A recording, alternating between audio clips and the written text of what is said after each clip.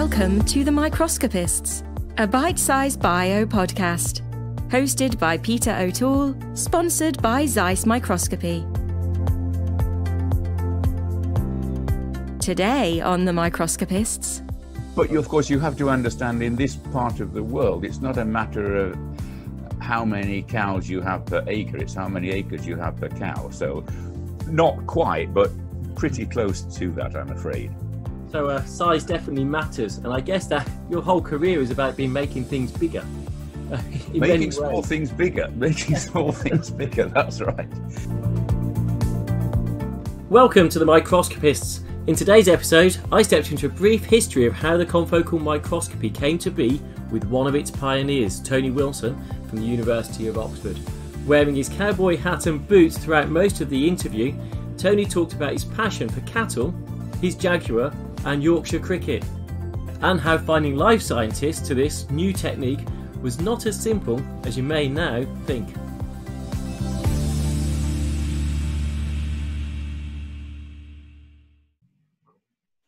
Hello, I'm Peter O'Toole, and today in the Microscopist, I'm joined with Tony Wilson. Uh, hi, Tony. Hi, Peter.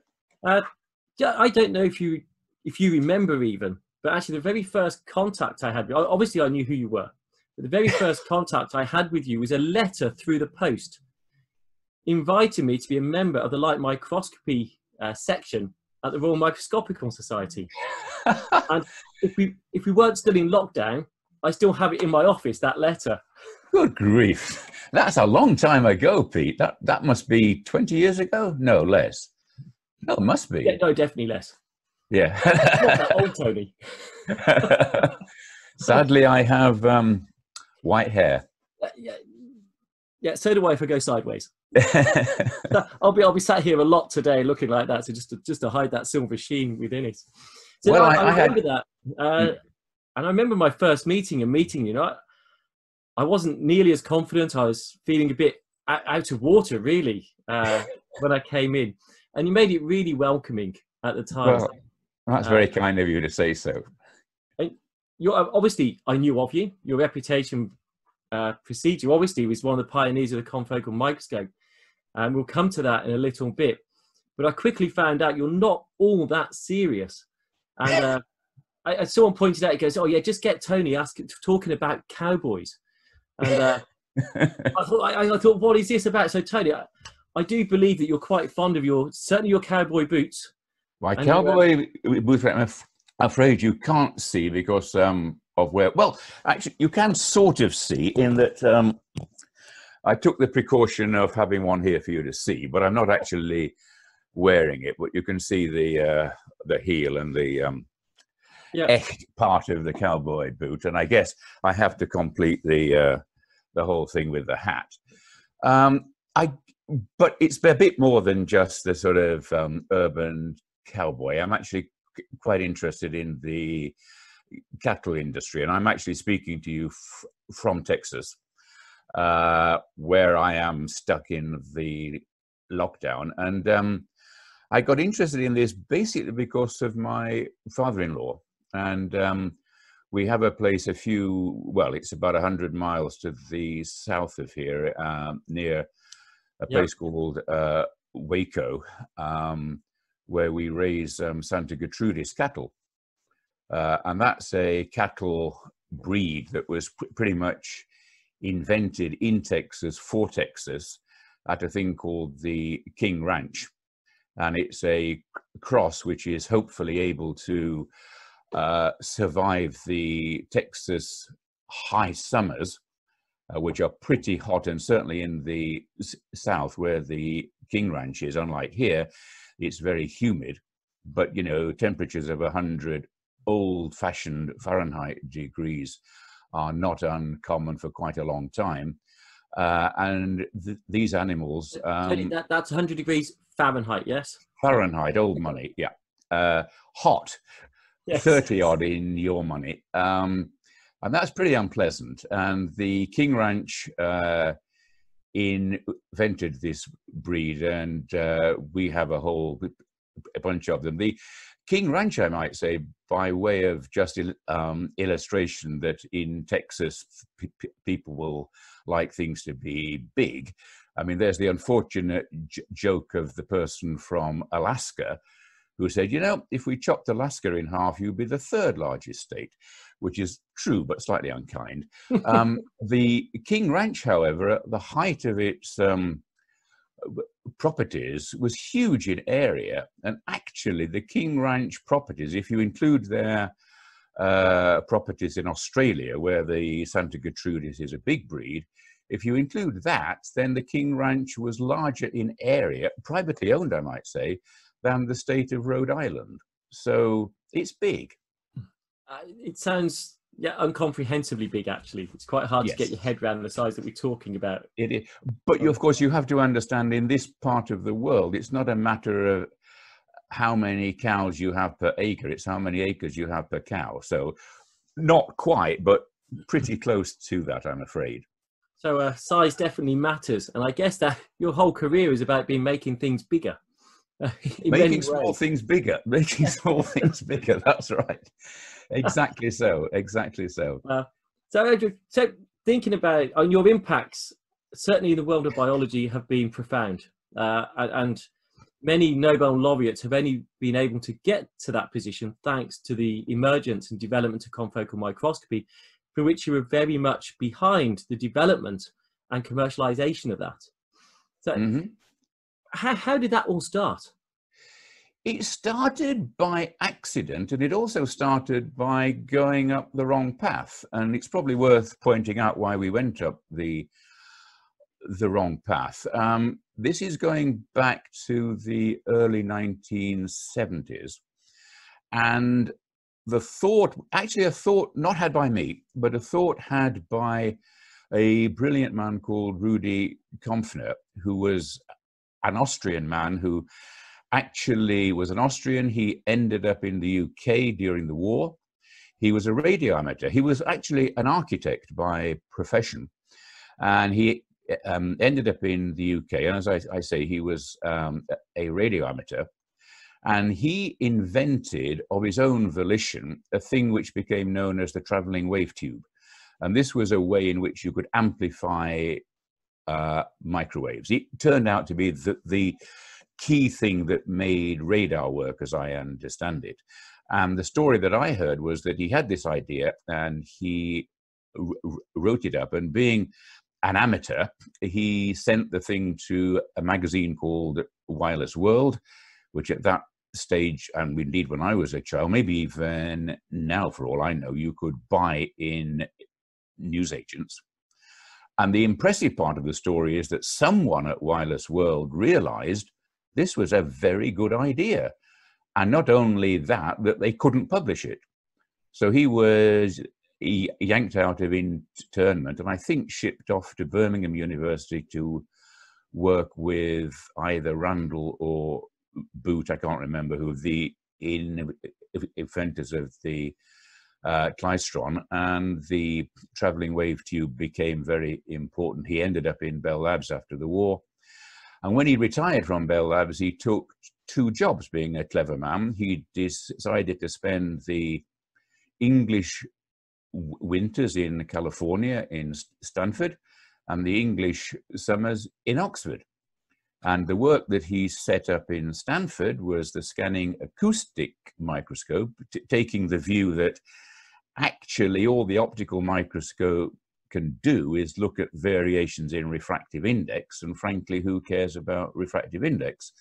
Whereas the acoustic I, I like that these days. I'm into this was 30 years ago a bit more. Um, and so he thought quite rightly that um, the acoustic microscope which really gives uh, contrast because of the stiffness the strength the mechanical properties of the material, it would be much more interesting. He was right in that, but of course, the acoustic microscope never really took off. In Oxford, we were doing the optical microscope. What were we trying to do? The idea was that most biological tissue is pretty much transparent. Uh, at that time, we didn't really know why you guys use fluorescent labels. And we thought it was, and we were wrong, we thought it was because there wasn't enough contrast in the regular microscope image. So the idea was, why can't you do good contrast? Well, the, the reason is because you're trying to do it optically. And optically, if you have a big signal with a small background, it's very hard to see the small background. There are techniques, but it's hard. In electronics, if you've got a small signal on a weak uh, background, it's trivially easy to get rid of the large background and amplify up the small wiggles. So in order to do that, you need the signal to be an electronic signal. Now remember, in those far gone days, there were no such things as CCD cameras. So we had to somehow get the image electronically. Remember also back in 1970s, the laser had just about become a commercial viability. Not the kind of things we have now, but you could get lasers at a reasonable price, pretty much the helium neon laser. Uh, and so we had a bright light bulb and so the idea was to build on earlier work of the flying spot microscope, where the flying spot was actually a television screen that was de. Uh, so the spot would scan across the TV screen. You would demagnify it onto the specimen. That would be your flying spot illumination, and you would have a photomultiplier tube to pick up the scan signal. So we had a laser which we scanned across the specimen and then we had a photomultiplier tube and we built up the image point by point as we scanned across the image on a long persistence television screen. So there was no capture. If if we hadn't got photomultiplier tubes, or no, if go back one, if we had CCDs when yep. you started off, would yep. you even thought of going to the point source and PMTs, or would you gone to try and using wide field and CCDs? So uh, I suppose actually that's a very good question because we started off once we'd built the thing. Of course, uh, we have. I have this.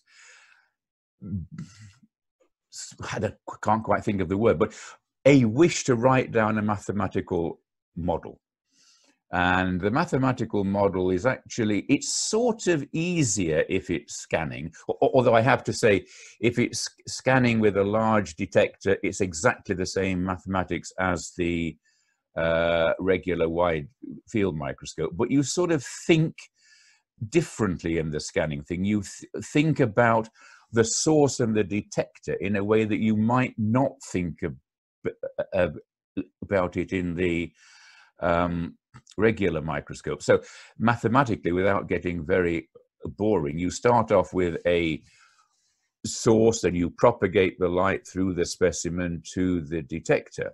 And if the detector is big, without going into too much uh, boring stuff, you have to do an integral over the whole of the optical uh, intensity that arrives at the detector. And again, integrals are hard work if you stick a pinhole, a point at the detector, you don't have to do the integral. Now, when we started off building these things, we knew nothing about optics. So we thought, how can we build a simple system? And we thought it would be easier because we didn't know much about optics. We felt fairly confident we could take a spot of light and focus it to a point. That, after all, is what objectives are supposed to, to, to do. And then we could have the objective re-image that point onto the specimen. That way, we thought the uh, optics would behave well. Which that involved us having to scan the specimen in order to get the whole um, object. And that thing behind you is the very first specimen scanning stage, thank you, that we built. It didn't last very long. How did it work? There are two loudspeaker coils behind you, voice coils, which push the thing marked flexible legs. And the idea was that the specimen would sit on that stage, the voice coils would push like this, and the specimen would scan.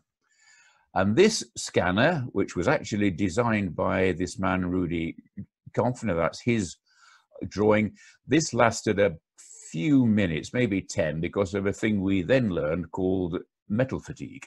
So this thing fell to pieces and we had to build a better one. This worked, I might say, remarkably well, but of course was not convenient for imaging any specimen which was not pretty small.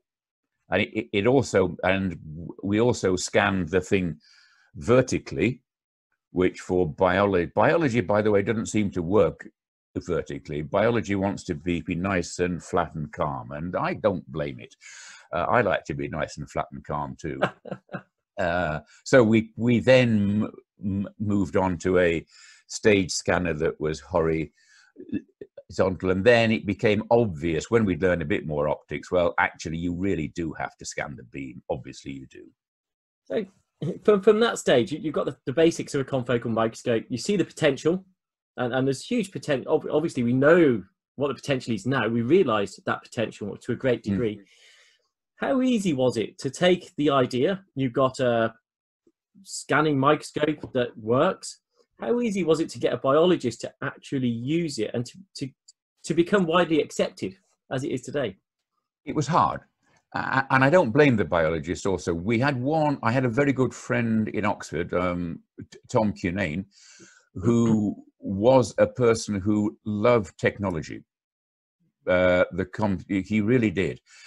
And the system that we had didn't wasn't conducive to biology. I mean, one trivial way um, in Oxford, where this was going on, there is a science area where all the departments are pretty close to each other in reality. The engineering science department isn't actually in the science area. It's pretty close. It's a two, three, four, five minute walk, but it involves a four or five minute walk and it involves crossing a road.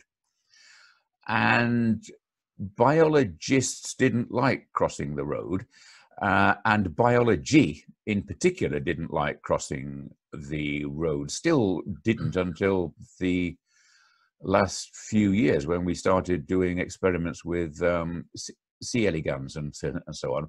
Finally, we got those things to cross the road. And I might say, talking about biology wanting to be, be nice and calm, these C. elegans came and the um, donor of these things said, look at them in this uh, Petri dish. They are, quote, grazing on a lawn of bacteria. Well, my goodness, grazing on a lawn of bacteria across Parks Road was not an easy thing. Uh, and so it was hard for them to get the biology to us. Yeah. Our stage scanner wasn't conducive to biology, if I'm completely honest, although later on we were able to do what I think was really quite re- re- remarkable things with the stage scanner, but it was fighting the technology. It was also new, which meant to say it didn't work every time. It was also new right at the beginning, before the um, uh, image capture software, in that we had a long persistence television screen. So the scanning wasn't fast, the scanning wasn't real time. You had to turn the lights out in the lab. So it was a relatively painful way to get the specimen. And I, I, I really don't blame the biologist for not cottoning on to what we were trying to do because it was hard. And the, the biologists, perfectly reasonably, their main interest was biology.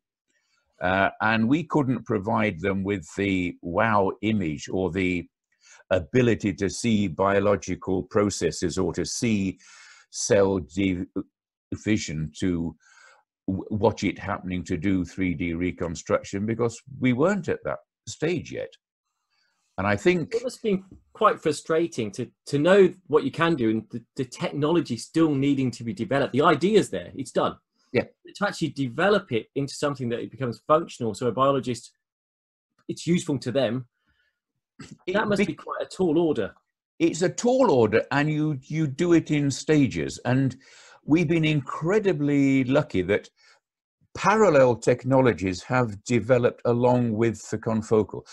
I don't think we could have actually built a better system, even if we'd had Janelia Farm type funding in 1970s than we did. The lasers weren't there. The image capture wasn't there. Image processing wasn't there. So that couldn't have happened. So I think we did what we could. And, and also, to be honest, we were starting off, we were aiming, aiming it at the semiconductor industry.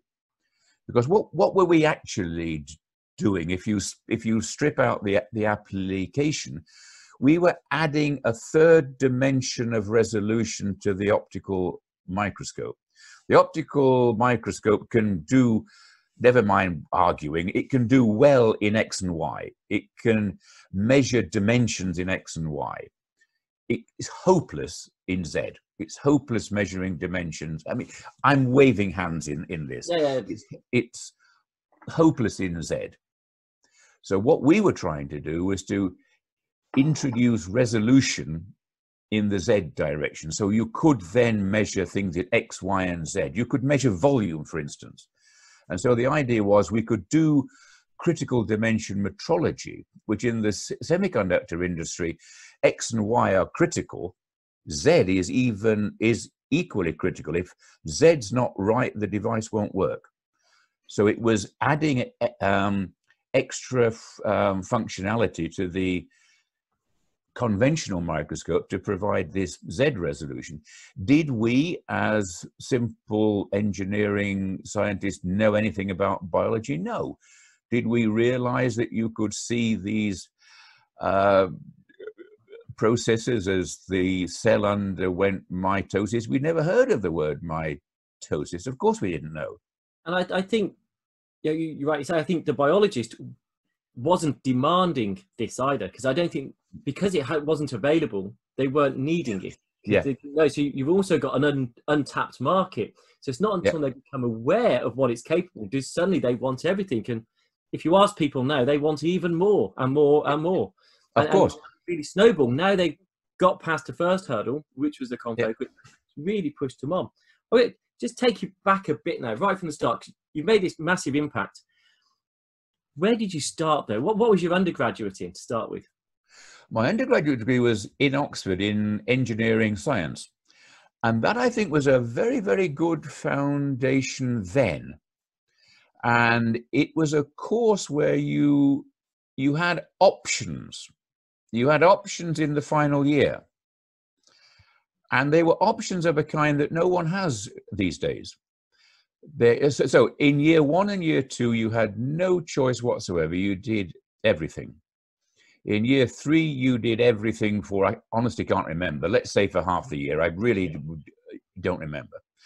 And then if you wished, you could take an optional paper.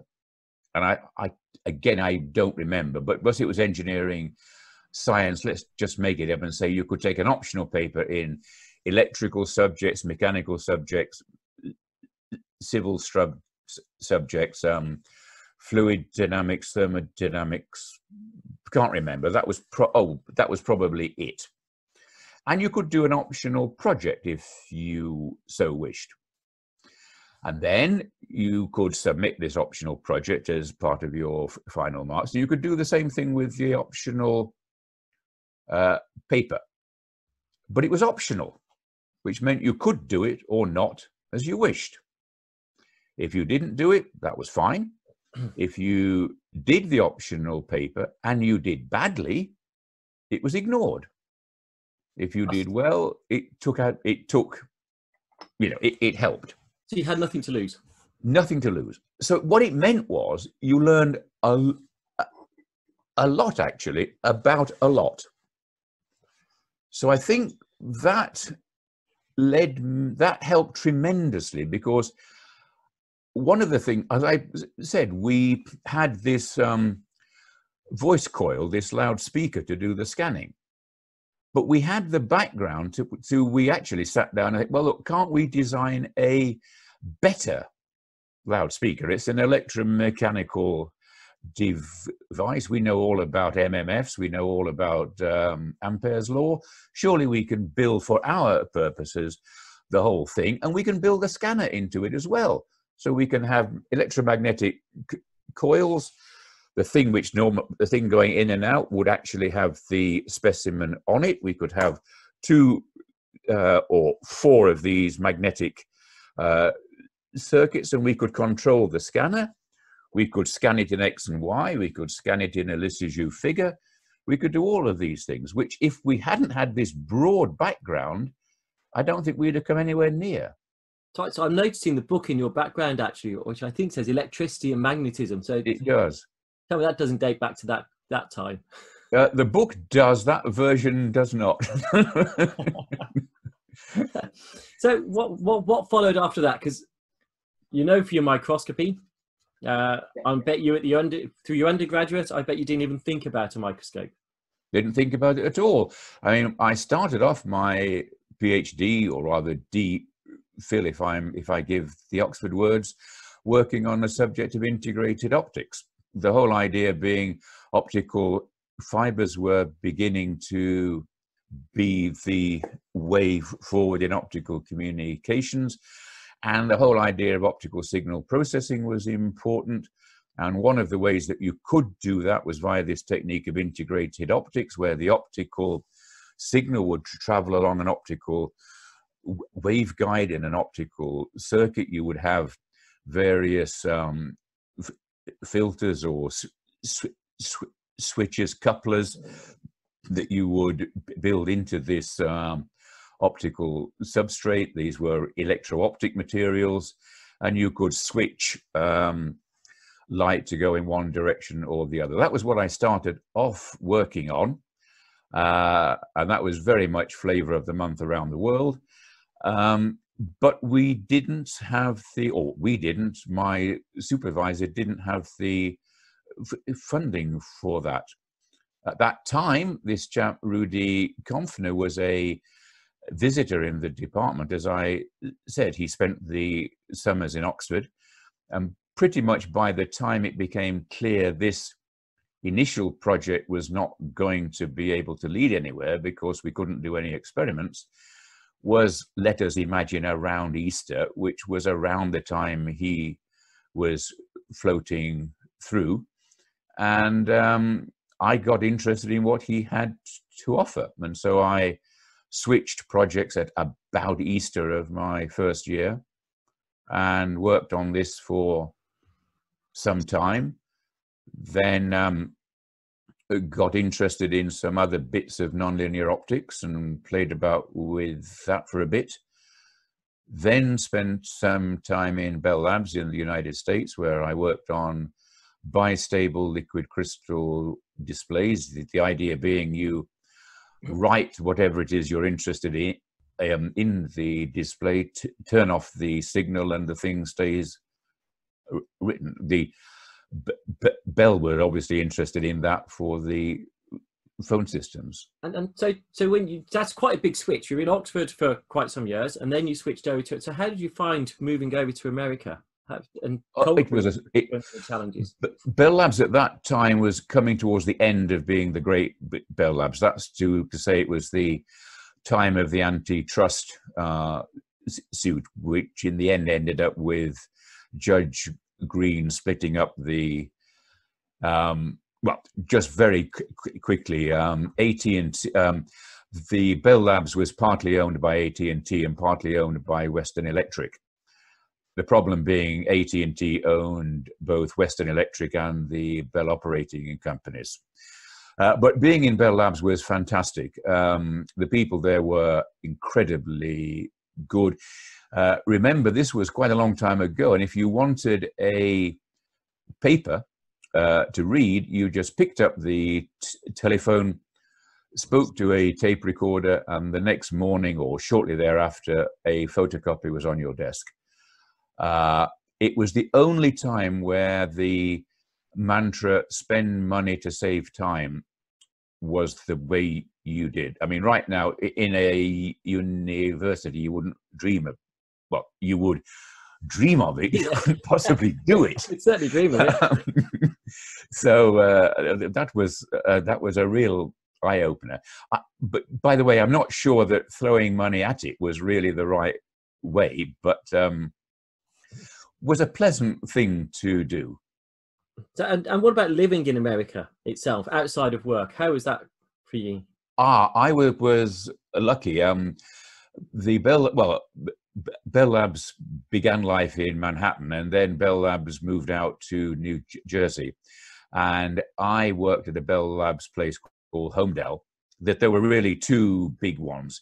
Uh, uh, Murray Hill was the original one.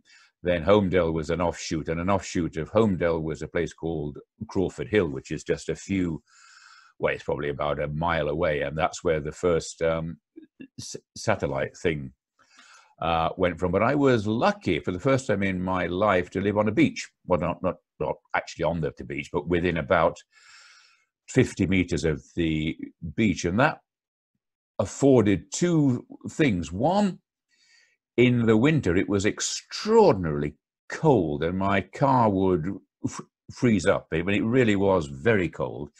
But from this beach, I remember lying in the w- water, having um, gone down, and lying on my back and looking through my feet. And through my feet, I could see the Verrazzano Narrows Bridge, and behind that, the World Trade Center. And I thought, this is not a bad view, really. this was pretty nice. So that's the second time. I've just noticed you're now lying down. You're semi beach bum at this point. Absolutely. On you understand biology because you like to. You probably prefer to lie down and just relax. There is a trend coming out here, Tony. of course, are you a night owl? Uh, are you an early bird, or are you? I don't want either. I just just, just a midday person. No, I prefer the early mornings. I don't like late nights particularly. I mean, I do them from time to time. The idea of burning the midnight oil, I don't like. I much prefer to you, get up early. So I, I also know you've got a passion for crossword, uh, crosswords, cryptic crosswords. I'm, I'm afraid so. Yeah, yeah, I'm afraid And- so. So that that arrives on your desktop at six o'clock. Is it at the moment? It arrives at midnight in the UK. That's to say, I, I have a subscription. So, um, to be perfectly honest, I do what is probably the easiest of the cryptics. I won't say which. There's no one. such thing as an easy cryptic crossword. I still just do not get them at all. There is such a thing as a really hard cryptic crossword, though. And and so when I'm here in Texas, um, six a it depends on the time of year, but right now we're six hours uh, uh, uh, behind you. So six a.m. here is m- midnight in the UK. So I do tend to download the cr- crossword in the uh, evening and have a pl- play about with it. And um, for reasons you will understand, you play around with a crossword and you can't do it. You then go and do something else, which in my case is uh, going to bed. And then you wake up in the morning and suddenly number three down is easy. Uh, yeah, if it's come to come to you in the dream, yes, but Yeah. otherwise absolutely. it's still a mystery. When I go to, I just keep you awake at night trying to think about why I can't understand it. well, sadly, that puts me to sleep. So what what else do you do to pass your time? Uh, do you watch TV? Do you, what do you prefer, TV or book? Book because of I th- it's a trite thing. Book because the pictures are better. I mean, I've just the trouble with a book though is you can't put the thing down. Uh, I mean, I just started reading. I, I have to confess to you, I'd never read Whiskey Galore, the Compton Mackenzie thing set in his fictional Hebridean island, uh, until the last couple of days. And the problem is, once you start to read this thing, I mean, it's a hilariously well written uh, thing. It's like something you get your teeth into. You don't really want to put the thing down. So I, I'm I I sort of, um, coffee then, don't you? you need coffee, which I'm afraid I don't have at the, the minute. I don't have. but, um, uh, the, the, you say, what do I love? What did I miss about being in the states? What do I miss about being in the states? And the answer is three things, which have improved a bit. The three things that I missed when I lived in New Jersey was one, bread, two, cheese, and the other one was espresso, which I see you are well stocked with. and uh, I'm a, uh, things have improved a lot. Certainly down where our ranches, th- things improved tremendously when George Bush Jr. was president. His ranches in the neighboring county, and uh, w- whether it was the visiting press pack or whatever, but the coffee locally improved tremendously. So, so that was good. Yeah, I, I, I've got to say, I, I, I do like my coffee in a big way. Yeah.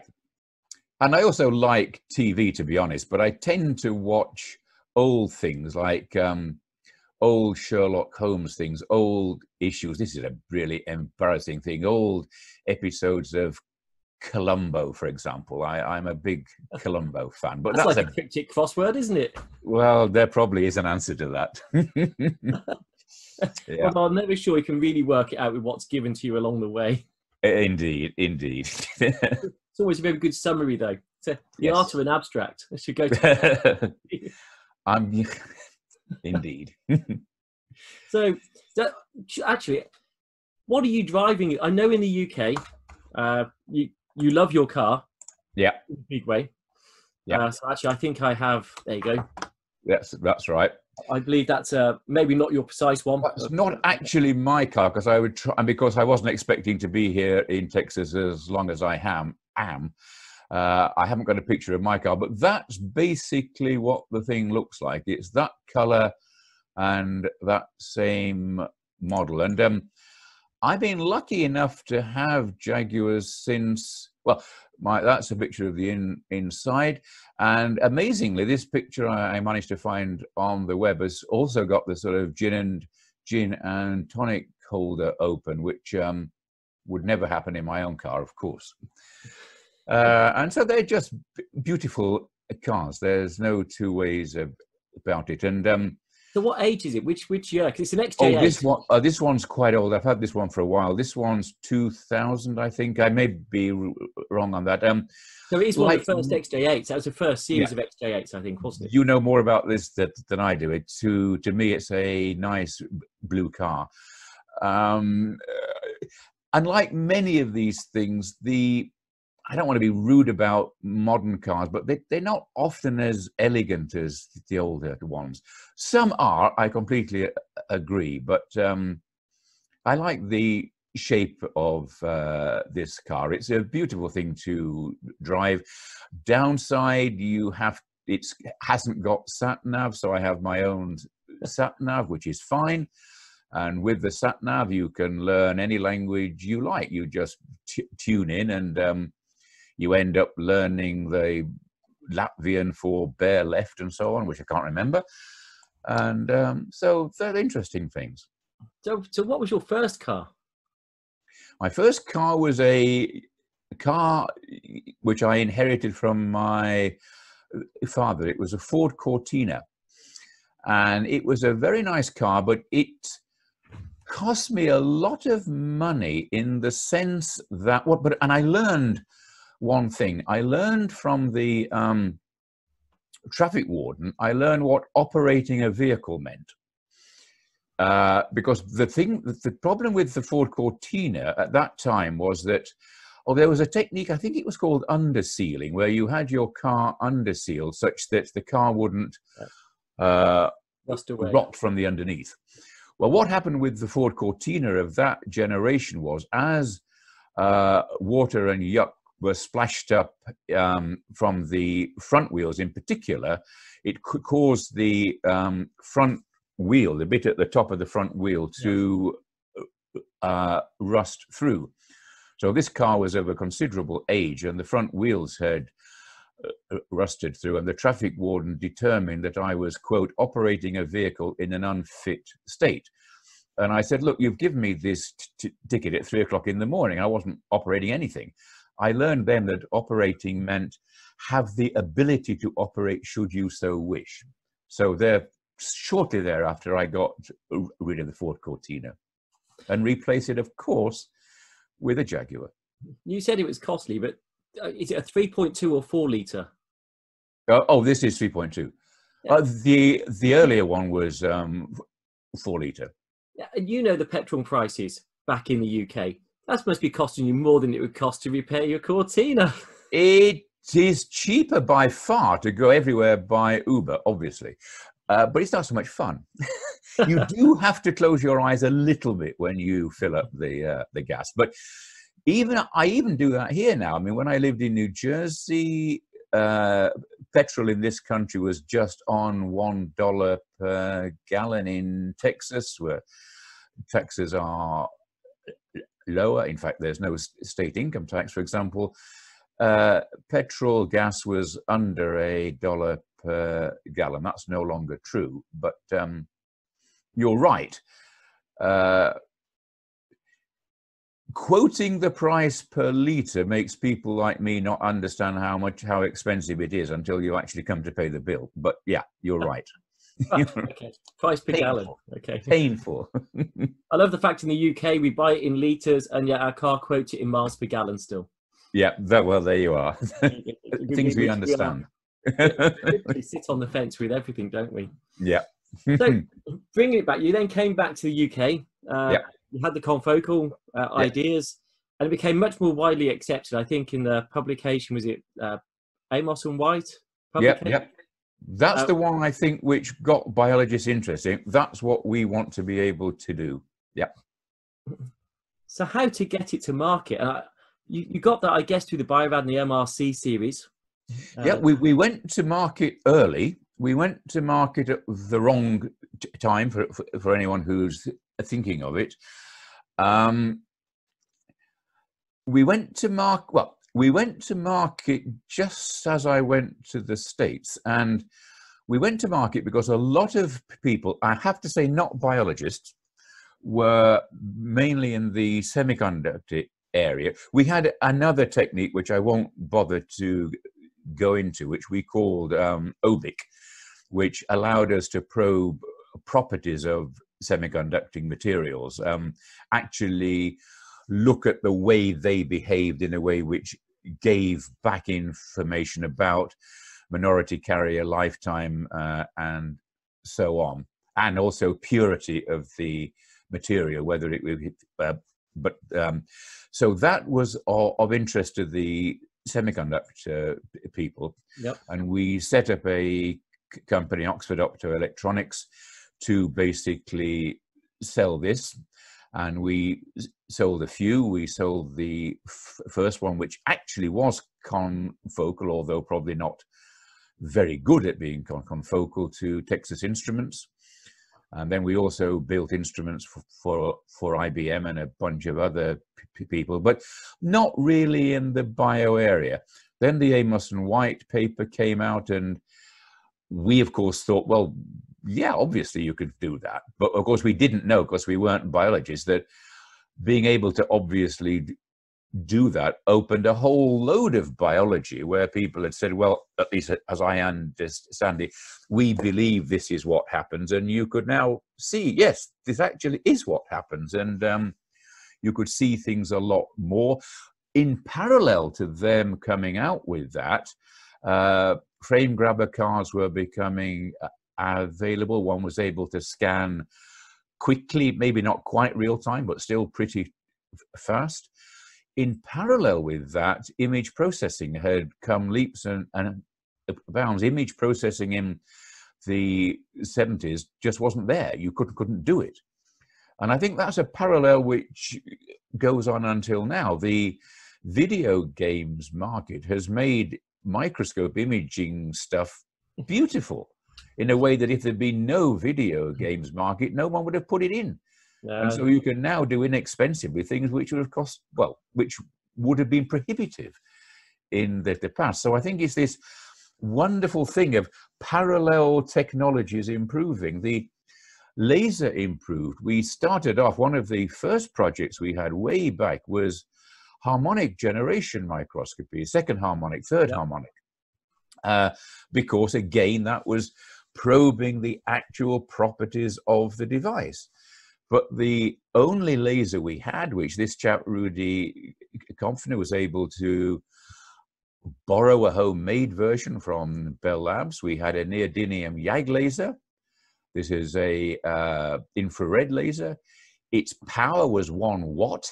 it was a CW laser, a laser that the health and safety people would not allow us to go anywhere near in the lab now. And we were able to get third, um, second harmonic um, images. We were able to melt materials very easily, but we were able to get harmonic images. A few years ago in the lab, because of the tremendous developments in laser technology, we were able to do third harmonic generation, which is a parametric process, so you're not dumping energy into the device. We were able to get um, third harmonic generation of living uh, C. elegans uh, nematode wiggly worms. Uh, and it's living. Uh, and you can see this. You can also see living embryos. Uh, technology which you couldn't dream of 30 uh, years ago. But the parallel developments of other technologies made a big difference. So you had these ideas, you took them to companies, different companies ran with elements of those ideas. Yeah. Uh, so it's, it's quite, you've got your academic, how do you balance your academic side and your commercial side? I know now that there's Aurox, which is really yeah. pushing forward and developing uh, lots of new products. Yeah. That must take a lot of time and energy along with the academic side. So how do you, you blend does. That? I mean, uh, when we first set up Oxford Optoelectronics Limited, and after a while of trying to do everything ourselves, and um, we then got into bed with the a company called um, Dubilier Scientific, which became Laser Sharp, which became Biorad, which became Biorad, uh, which, uh, yeah, um, I may have got those in slightly the wrong order. Um, when we were doing all that, university spinouts, to use the present words, were not popular. And indeed, I'm not sure they were strictly approved of. Um, we, we, we didn't keep it secret that we were doing that, but we didn't make a big deal out of it. When we came to set up Aurox, uh, by that time spinouts were more useful. And we set up Aurox actually. Oh, I was about to say earlier on, I said, you know, when we set up Oxford Optoelectronics, maybe it was a mistake. And what I mean by that is we set up a company to sell a confocal microscope when no one had heard of a confocal microscope. So much of the time we spent doing what um, one of my colleagues calls missionary work. And so you're you're spending all your time telling people what a confocal microscope is, why it might be a good idea, uh, and of course you have a product that doesn't quite fill those requirements because we were still at that point stage scanning. Then uh, other people came along. Uh, uh, the Brad Amos and uh, John White thing was a very good example of how you could turn these ideas into a biologically friendly form, and that was clearly the way t- to go. Biorad saw that, and that's the way they went forward, and that was was obvious. But we had. I'm not taking cr- credit for this, but if you're doing the the um, missionary work, you're doing everybody a favor apart from yourself necessarily. Uh, then that's not your academic side anyway, because that yeah, I guess your spin out is your academic side. That's right, and the academic side, as I was saying at that point, technology. You start off by saying, well, why did you do confocal the way that you did? And the answer is because you had to. You had to have the point source. You had to have the scanner. You couldn't do it any other way. You know, an ordinary light bulb isn't sufficiently bright. You can't scan it around. But of course, as all this was going on, technology was improving. Lasers were improving. They were becoming semiconductor. They were available over a wide variety of wavelengths. Also, the CCD camera had improved leaps and, and bounds, partly because um, I got, I mean, one of the wonderful things about being an academic is you get invited to conferences all over the place. And 20 years ago or so, the scientific CCD for um, astronomy or for spectroscopy was becoming very important. And I was luckily lucky enough to be invited to a number of conferences, in essence aimed at imaging where the light levels are very low. So it was a meeting of people who were doing imaging combined with people who were trying to detect incredibly weak hmm. signals. And this was run by a spectroscopist, actually a spectroscopist from East Texas, and he ran these meetings in the Cayman Islands in December. So that was about as much of an impact, as much of a come on to get interested in low imaging in low light levels. That introduced me to the CCD camera in anger and also introduced me, told me pretty clearly that the days of wet, of wet photography were over. Of the companies who were there, the one that sticks in mind was Kodak and I thought, if Kodak are getting interested in this, this is going to be the way forward. So the CCD camera came along, which could detect weaker signals. So you say to yourself, well, what is it you want your microscope to do? And the answer is you want it to do everything the regular microscope can do without any doubt. You don't want to throw any of that away, but you want it to have this axial resolution. So the question is, let's start from scratch. Let's say, okay, we've got the conventional microscope. We can get the image electronically now trivially easily. You just stick a CCD camera there. There's no need to scan.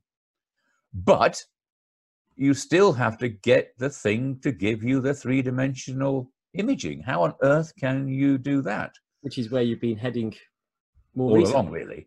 Uh, which where we're heading recently. So plan A was to use structured illumination.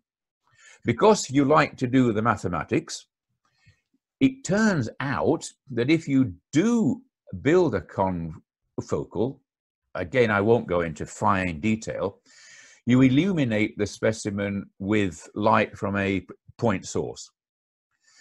Mathematically, a point source, if you think of it in terms of spatial frequencies, contains all spatial frequencies. So you illuminate the specimen with all possible spatial frequencies. If you have a point detector, you detect it with all possible spatial frequencies. If you have a conventional microscope, you have a planar detector that's got one spatial frequency. So with a conventional microscope, you detect one spatial frequency. With the conventional, you detect all of them. And with the conventional, not only do you detect all of them, you actually detect an average over all of them. If it's an average, it can't be the best. So the thought, therefore, is hmm. let's not let's not illuminate with all spatial frequencies. That means all angles, but let's illuminate with one, and let's pick that one, do the mathematics, such that it enhances the confocal effect. It gives you the optical sectioning. So the idea was let's illuminate with a single spatial frequency. That means a single sinusoidal pattern. Yeah. And let's look at the image that we get. And what you get, because you have to image, you can't image with a single sinusoidal pattern because you can't have negative light. So you have to have a background with this pattern superimposed. So what you get when you look with your eye is you get a conventional image due to the background, yep. superimposed upon which is the confocal image, but modulated with this fringe pattern. So then you say to yourself, okay, I can, in the computer, I can get rid of the background. That's relatively easy. And so what I then get is the image I want, but it's modulated plus minus by this fringe pattern. How do I get rid of that? Well, you get rid of that by taking more than one image and you play abracadabra in the computer and you get out an image. Sounds so magic. that's right. So we then thought, okay, we will uh, license the patent on this. So we licensed the patent, and there's a story behind that which I won't bore you with, to a company in uh, New York State and they came up with a product called the OptiGrid, and that worked quite well. In parallel with this, Zeiss came out with a product they call the Apotome, which is exactly the same thing. Uh, we took the view Zeiss were being a bit naughty in what they were up to, which is a view many people shared. Um, however, we took the practical view that we're getting all this free publicity for the technology from Zeiss, so why argue? Now, my prejudice comes to the fore, which is to say that um, you only use a computer when you've no choice. It's the it's it's the port of last resort. You don't use a computer if you can do things more elegantly optically. So in Stoke, the idea is how can you get rid of the fringes from this composite image optically? And for the electrical engineers, you do the spatial equivalent of lock-in demodulation. So you have a fringe pattern that you illuminate, and you have a fringe pattern in the detection plane. And in order to do the demodulation, you spin these things, you rotate them, and you time average, which in English means look with your eye at what you see.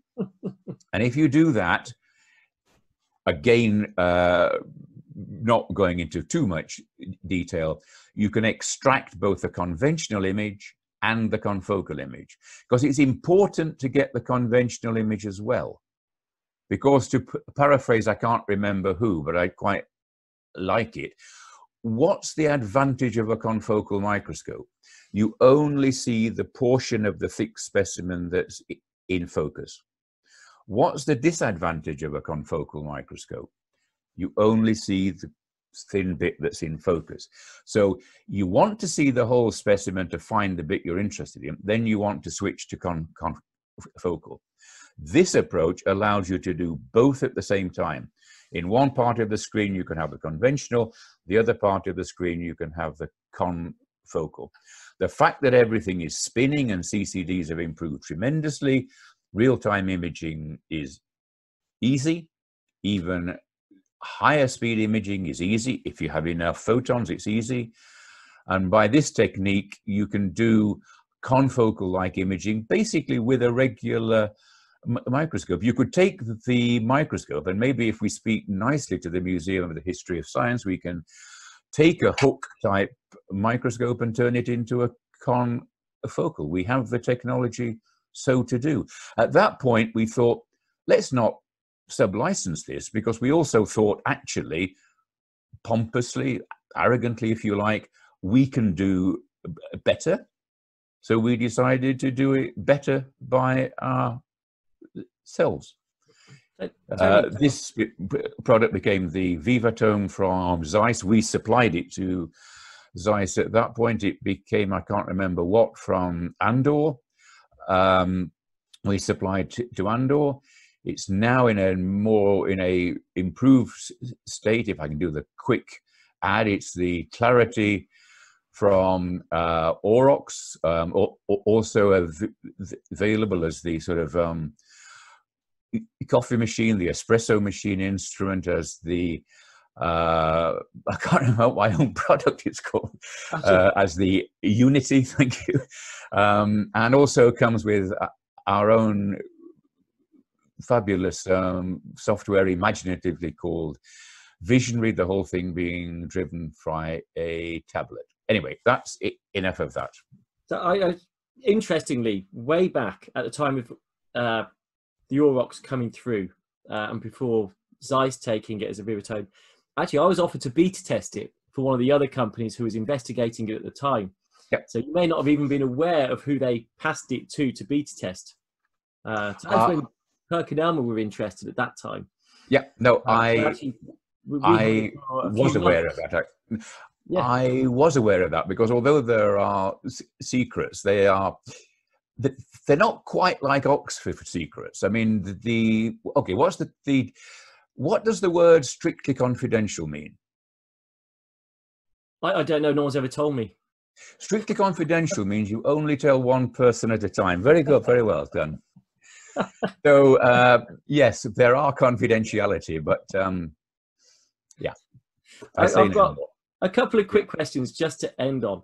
Okay. Firstly, Yeah. Actually, I've got a. You're British. Where, where, where were you born? I was born in a place called Sutton in Ashfield, which is near Mansfield, which is in the Midlands in Nottingham. It's on the Nottinghamshire Derbyshire border. So, And I stayed there till I was about Yorkshire, two. How come you were a Yorkshire cricket fan then? Ah, because at the age of two, my parents moved to Rotherham, uh, and cricket was my father's great sport. And my mother liked cricket also. She was born and lived in uh, D- Derbyshire, and she would often take the bus to Nottingham, and there would be a professional cricketer who would often take the bus with her.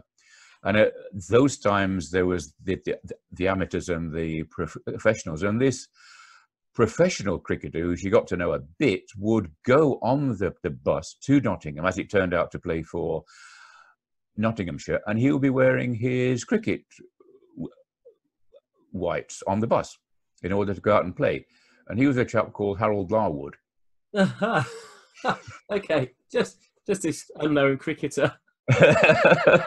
Indeed, and, I- I- and then cricket was, was was was what I played at school, and um, family holidays always ended up in Scarborough for the Scarborough Cricket uh, Festival at the end of the summer, which was fantastic. So, so I've noticed you've actually kept your cowboy hat on for the entire interview and the chat. So uh, I, I kept my Yorkshire hat just for you, Tony. Well, I- yeah, but you you mis- you mispronounced it. You it's an inaspirate the H. I'm, not a true Yorkshireman, Tony. I'm a Brummie. Neither am I. I'm afraid.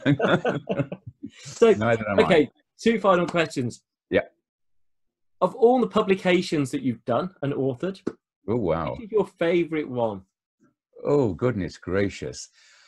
Um they're all things that I'm proud of otherwise I wouldn't have published them. Some of course one is more proud of than the others. I think one that I quite like and it, it- it's it's not one the world will particularly have seen. It was written it was it was looking at the role of polarization in microscope imaging. Now, people often use polarization to do high angle vectorial theory of this, that, and the other. And to first order, and I don't wish to, I mean, I've done it as well, it doesn't tell you a great deal that i- if the microscope behaved dramatically different than you would pr- predict from scalar th- theory, you need to be a little bit careful. Now, of course, if it's a polarization effect you're looking at, then that's completely different. But I was always interested to, to wonder whether some of the things we saw in a polarization microscope were actually polarization effects in the sense of the specimen being birefringent or not, or, or what physicists call um, form birefringence, i.e., scattering and the form of the material gives rise to a change in polarization. And one thing that we always look at is a point scatterer because you can look at resolution and this, that, and the other.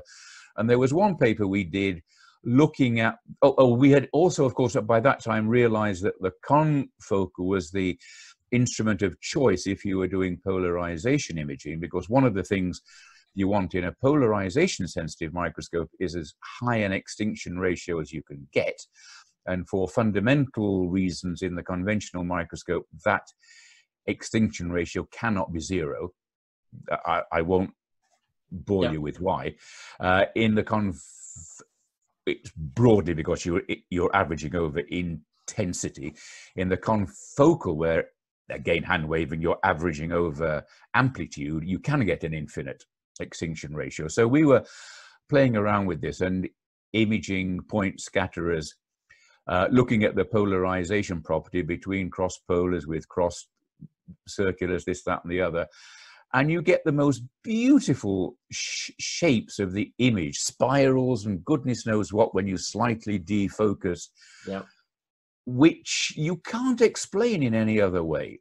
And you see them when you're imaging biological tissue. You look at some of the images that, for example, Rudolf Oldenbourg and Shinya Inoue were obtaining, and you can explain these things beautifully. Does the world care? Probably not.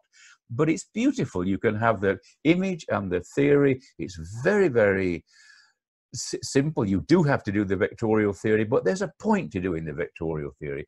It's just very, very pretty.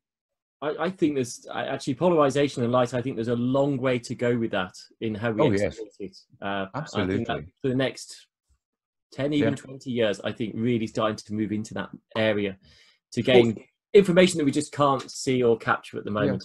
And, and, and- and there's one other paper I wrote, which was also on polarization, where we actually built an electro-optic de- device which rotated the polarization and had uh, locking things, and you can basically map out the polarization states, the kind of thing Rudolf Oldenbourg was was up to, and you can do it in more or less real time. That was also a very pretty uh, paper. I have to plug that one. That was published in the Journal of Microscopy. The other one, I'm afraid, was not. no, very old journal as well, and still one of the best for microscopy itself. That's the one. I think we're going to have to stop at this point. I think we could Okay. go on for another hour quite comfortably. You have been brilliant. Thank you, Peter. So- and you wrecked my hair, by the way. Putting that cap on, I shouldn't have. Well, I take my hat off because I actually had my hair cut yesterday in uh, lockdown, and I have to tell you, it's the first time I've had my hair cut wearing a face mask. That's m- the main reason for wearing the hat. at least you could get it cut. My, my son is still cutting my hair, so it's, it's uh, I, I wasn't going to comment on he, he is very good at it. I've got to say. that. Tony, uh, Great. you've been a star. Thank you very much. Thank and I you. look forward to uh, seeing more of your developments in the future. Thank okay, you. Peter. Thank you. Thank you for listening to The Microscopists, a bite sized bio podcast sponsored by Zeiss Microscopy. To view all audio and video recordings from this series, please visit bitesizebio.com forward slash the dash microscopists.